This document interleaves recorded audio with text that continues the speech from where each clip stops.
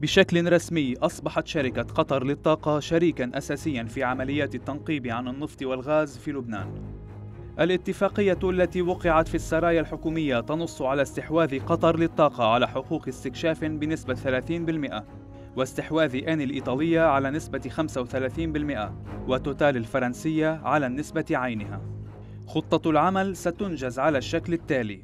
في ست شباط ستصل سفينة لمسح الأثر البيئي. على أن يرفع تقرير في حزيران يعلن نتائج المسح. مع نهاية آذار تنتهي إجراءات استقدام الحفارة وهناك مناقصة أطلقتها توتال بهذا الشأن. بين أيلول وتشرين الأول تبدأ عمليات الحفر وحينها تصبح صورة حجم الثروة أكثر وضوحا على أن تعلن توتال نتائج الحفر بشكل رسمي.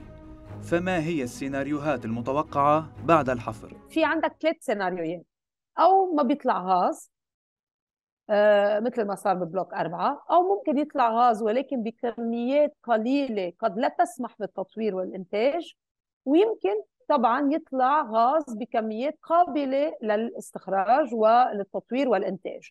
بهالسيناريو الثالث كمان عندنا اثنين سيناريوين.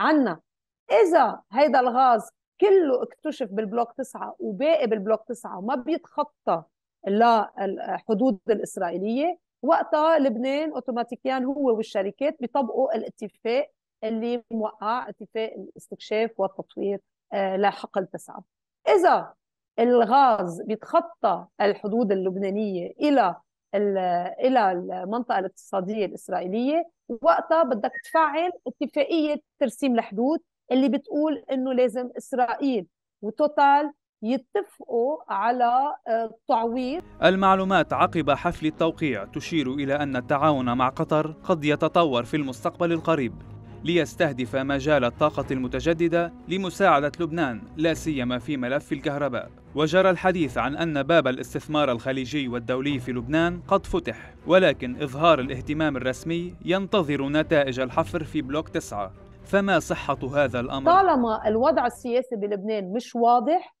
إنه التوجه اللبناني بالسياسة مش واضح مش راح يكون في استثمارات. اليوم الدول الخليجية وخاصة الإمارات والسعودية عندهم صار غير مشاريع عالمية ومشاريع كمان أكيد مش السعودية مشاريع داخلية وطنية مش مستعدين يكبوا ولا ليرة هدر اليوم آه، جولة التراخيص مفتوحة. لحزيران وبدنا ننطر.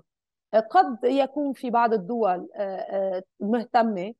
قد ترى بعض الدول إنه دخول ثلاث إنه يكون في بلبنان ثلاث شركات عملاقة بقطاع الغاز. قد تشوفه دليل جيد. ولكن كمان بالمقابل بيشوفوا إنه آه، الوضع بلبنان آه، منه سليم. في ظل التخبط السياسي والفراغ على أكثر من صعيد تؤكد مصادر سياسية متابعة لسبوتشوت أن غياب رئيس الجمهورية والحكومة الأصيلة لن يؤثر على خطة العمل. في وقت ترجح المصادر أن المخرج الرئاسي سيتواجد قبل بدء الحفر. اقتصاديا أفيد بأن اتفاق النفط سيفتح طريق الفرص للشركات اللبنانية المهتمة. ازدهار قطاع النفط والغاز بلبنان هذا بيعني أنه راح يكون في قطاع ممكن يعطيك بعض الوظائف كمان هو ما بينتج مباشرة ما عندك وظائف. طبعا مباشرة إنه كمان إذا فيك تستعمله للكهرباء وتخفف من عبء تكلفة الكهرباء هيدي بتساعد للاقتصاد. كمان بيبقى الأموال يعني إنه إذا كان عندنا عن جد صرنا دولة منتجة للغاز مش إنه من حق الواحد ولكن إنه صار في قطاع غاز هذا بدر أموال. وهالأموال كيف ستصرف؟ على إنه بناء البلاد هذا السؤال الكبير. على الرغم من وجود خطة عمل واضحة يبقى من المبكر الحديث عن انتعاشة اقتصادية مرتقبة. وأنتم هل تتوقعون أن يكون الملف النفطي دافعا إيجابيا للأمام؟ شاركونا آراءكم في التعليقات